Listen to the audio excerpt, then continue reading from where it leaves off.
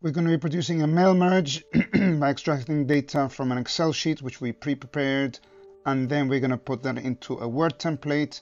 So launch your Word and you'll notice that you have a bunch of files you used before and then you have the templates here. If you click on more templates, it's going to show you more and just pick one that you want to use. So for example, um, I want to use one that I've used before.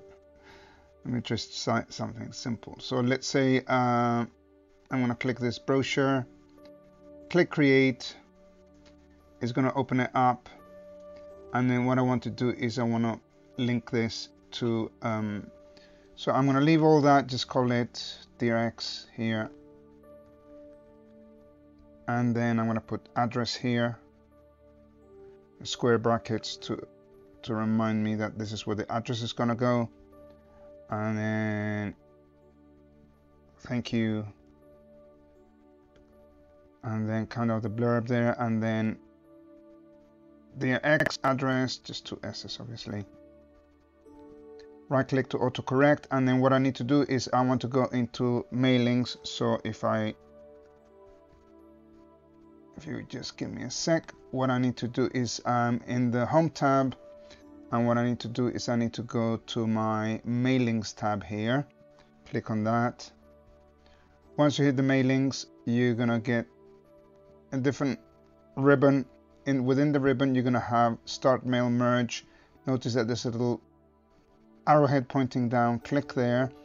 And what you want is the step-by-step -step mail merge wizard. So you're gonna click on that. It tells us that you want to do a letter which is what we're doing and then this is starting the process one of six at the bottom right here. So you're going to click next. Next it says select recipients. Notice here select recipients down here. But it also tells you that use the current document which is what you're going to be bringing the data into. So what we're going to do is click next select recipients. Notice now that it's changed to three and then what we want to do is we want to browse to locate that data. Uh, I've run this movie before. It's not a good one. Which means that if you have used um, data before in the current version of Word as of 20th of December 2022 2019 Word version is giving me errors to link to a, a file that I've used before. So you'll have to copy. If you want to reuse the same data on a different document you'll have to re redo it by copying it. So notice here that I've got my document, it's called mail merge copy. Okay, so I'm gonna see if that's gonna work or if it's gonna crash again. Now click open, notice that it tells me that I've only got one table, which is this one, the same one we used in class. Then I'm gonna click OK. And then notice it shows me a preview of the different people here. Okay and then if I'm happy with that if I'd want to exclude someone I just tick on the little box and then they're going to be included in the mail merge but everyone's been good this year. They all deserve a good present. So I'm going to click OK at the bottom right here. Okay and then you'll see next that so that Excel sheet has been linked and it says write your letter okay. So write your letter. Now notice that now it says step four of six right? We're almost at the end now. What I can do is I can grab something like the address block and the greeting line. Okay so the greeting line would be um, dear X for example.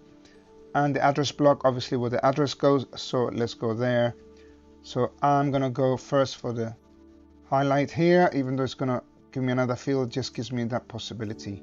So I'm gonna go here select the address click the address block here. Mr. Hope but notice that the surname is not there. So what I want to do is I want to match the fields here. At the bottom there's the match the fields option. So I'm going to click on that. And then if something is not matched, it's going to say not matched. So first Mr. and his surname is first name and surname. In America, they'll have different ways. We have set it up differently.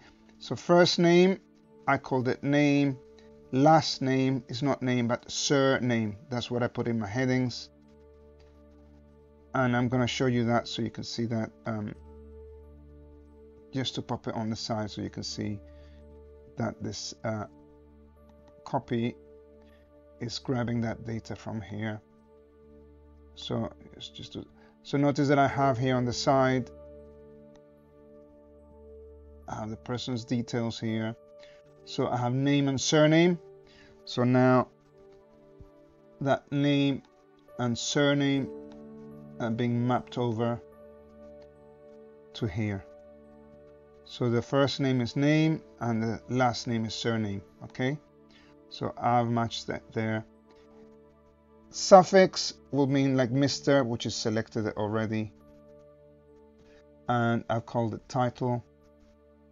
So if suffix is not matched, which is not, you're gonna link it to title, okay? So I'm gonna click on suffix, call it title.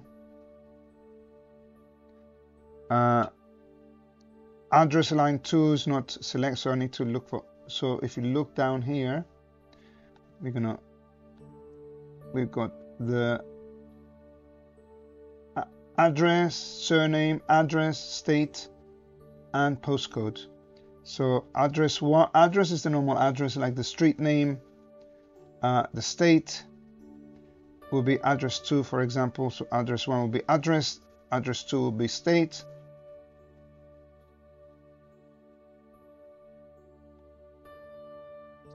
You see, I've got state here and postal code, which if you notice, the postal code is not. Oh, the postal code is not matched so postal code here is not matched and that corresponds to the English postcode here okay so I'm gonna click on postal code look for postcode once I'm happy with that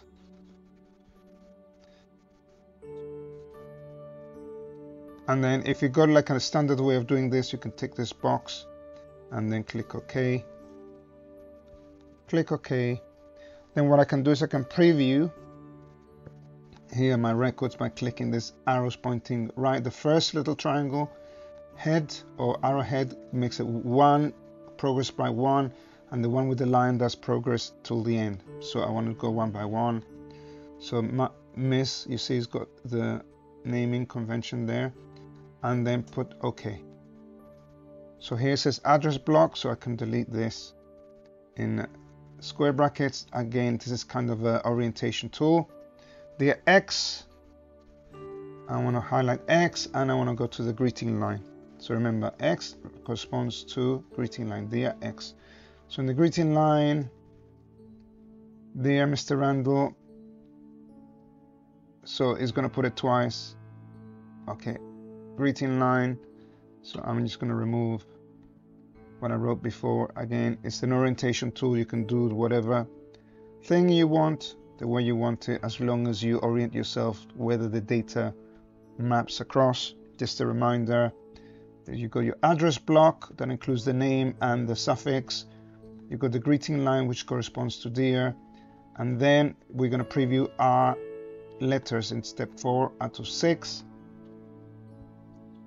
Next, preview letters. So notice now that the on the left hand side in the panel we have the actual data of the person and the dear etc and now the control panel here of going back and forth is in two places. We have it here or up here. It, doesn't matter the way you want to do it. Let's just go so I go I'll do one up here and one at the bottom.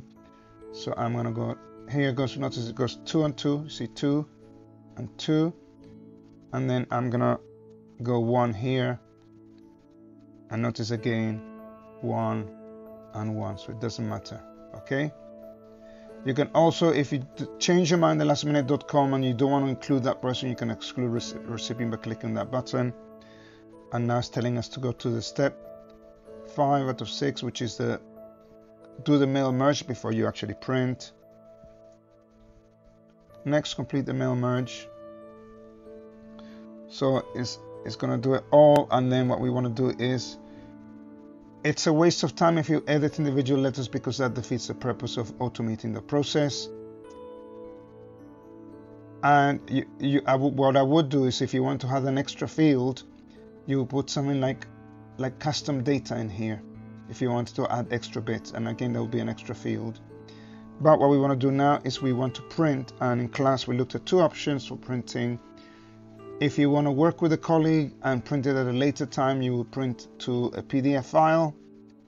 But if you want to print straight away then you select your printer within the print option. So let me show you that. So I'm going to click print. It's into it says all so it means all the records of all the people all the pages. Click OK. And the print dialog box opens up.